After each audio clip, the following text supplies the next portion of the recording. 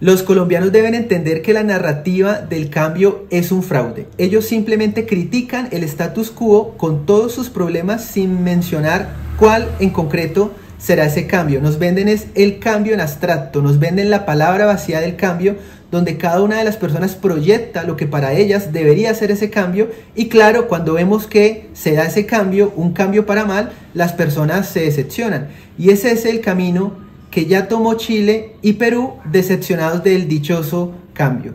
Vivimos, por supuesto, tiempos de grandes cambios y al final, ¿quién no quiere un cambio? Yo también quiero un cambio, pero necesitamos que sean cambios para bien, un mejor empleo, el último celular, una vivienda, etc. Pero algunos han olvidado que esos cambios también pueden ser saltos al vacío, pueden ser cambios para mal. Debemos entender entonces que ese cambio puede consistir en perder la vivienda, perder el empleo, ser víctima de un atraco.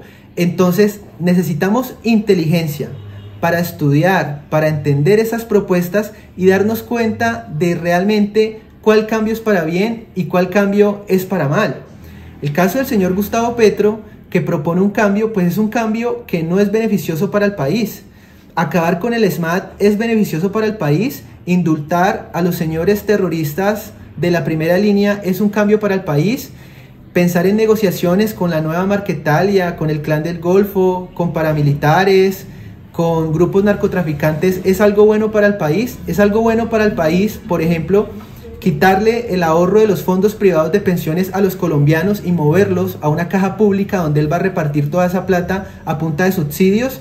Eso es pan para hoy pero hambre para mañana. Es un cambio positivo acabar con la exploración petrolera y eventualmente con la extracción, incluso evitando técnicas que están bien organizadas, bien vigiladas como el fracking. Esta gente nos quiere negar el derecho al desarrollo, nos quiere someter a los designios de las potencias mundiales y nos quiere quitar nuestra soberanía energética. Queremos todo eso para nuestro país las propuestas de Gustavo Petro y Francia Márquez de crear dos ministerios, el Ministerio de Industria y el Ministerio de la Igualdad, señores, en, en manos de izquierdistas, pues hace que uno se quiera decir que Dios nos encuentre confesados. El cambio de Petro que atiza el odio de clases, el cambio de Francia Márquez que atiza el odio racial y el resentimiento a la empresa privada, pues estos cambios no son buenos para el país. Y si esta gente permitimos que llegue al poder, pues este será el cambio por el camino que tomó Venezuela hace 20 años.